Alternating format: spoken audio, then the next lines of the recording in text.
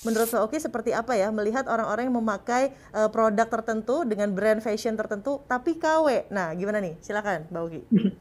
Iya, um, produk yang apa ya? Produk yang laku begitu menurut hemat saya kalau dia bisa uh, mempunyai marketing communication dan juga personal branding yang berhasil. Hmm. Sehingga orang-orang uh, uh, yang menggunakan produk itu merasa menjadi bagian dari uh, personal branding atau marketing communication yang dibuat oleh produk tersebut.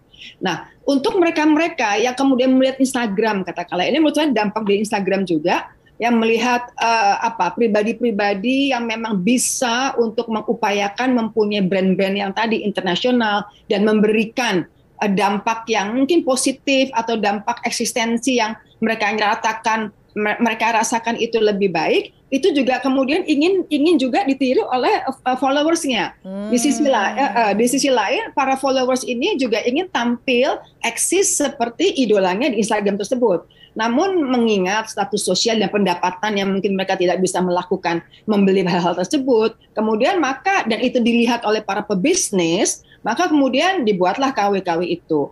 Jadi uh, menurut hemat saya yang yang perlu yang perlu diedukasi adalah bahwa eksistensi eksistensi diri kita itu bukan dari apa yang menempel di diri ini, tapi itu lebih kepada prestasi dan kreasi yang kita miliki.